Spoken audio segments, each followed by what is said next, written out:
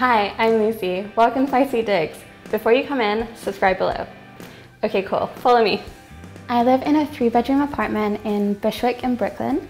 It's about half an hour away from Manhattan, which is a great commute, and it's also a cool neighborhood with lots of coffee shops and bars. I pay 1200 so does my flatmate Fernanda, who also lives on the top level.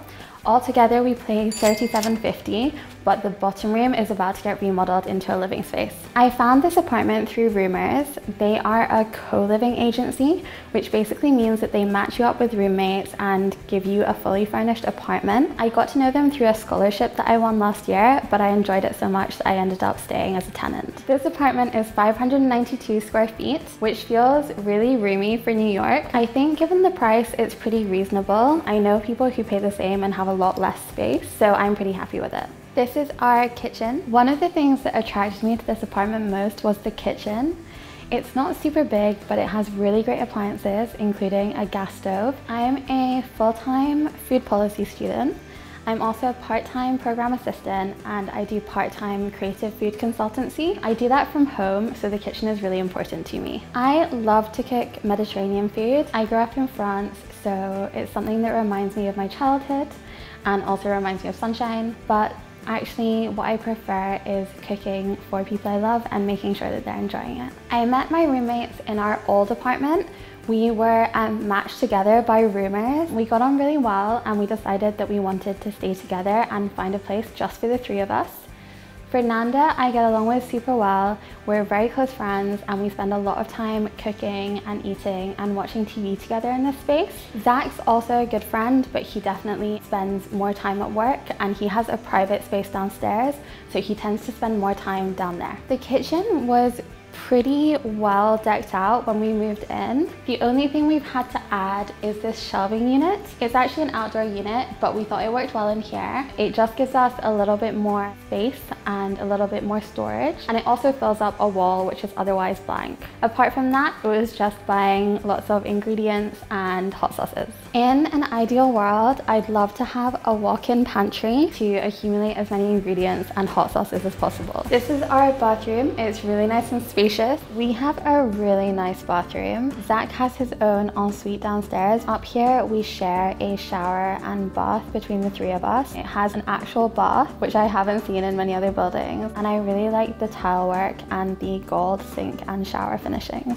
We take turns cleaning the bathroom. We only really have one rule, which is don't leave hair in the shower. And otherwise, we just all do our bit to stay on top of it. This is our current living area. I wouldn't really say it's a living room because it's open plan. We don't have a TV on this side of the room, which is really nice. It means it's a really calm and relaxing space and it actually means that we read in this area. I use the desk space over here, usually for studying and sometimes for consultancy. It's a really nice calm nook and it also gets great natural light so it's a really good place to work. The desk actually did not come as part of the property. The apartment came about three quarters furnished. We've definitely added bits here and there just to round it all out. I wasn't surprised to move into a furnished space because at home it's really unusual to move into an unfurnished house so that was kind of a culture shock to learn that that was the norm here. It's not to share the living space because we're all really respectful of each other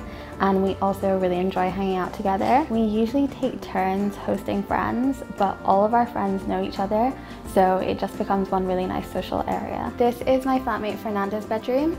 The layout is pretty much exactly the same as mine, but she's definitely made it her own.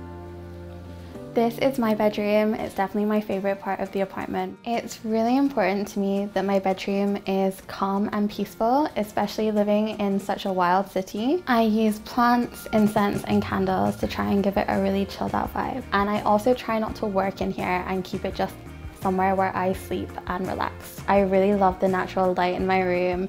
It makes it such a really peaceful, lovely place to be. And I love being able to open the blinds and give my plants lots of light. When I moved in, the bedroom was mostly furnished, but it didn't have much in the way of storage or decor. So I added an IKEA unit that I turned on its side and it also works as a tabletop for a mirror I purchased. I'm definitely like a visual person, so if things look out of place, it kind of stresses me out. I use decorative boxes as a way of just putting clutter into them and then it looks good from the outside and you get to forget about all your mess. There was one piece of artwork already in the space that was chosen by Roomrs. I added a few more pieces most of them are just postcards or posters from places I've traveled to. So I have pieces from Paris, Amsterdam, and a few things from home as well. I actually really appreciated that this space was partially decorated because I wasn't able to bring many decorative elements with me when I moved and the elements that are here are pretty neutral so don't really interfere with my own personal taste. I definitely try not to accumulate too many things, the less the better for me. There are a few things that I bring with me everywhere and they tend to be very small trinkets and sentimental items.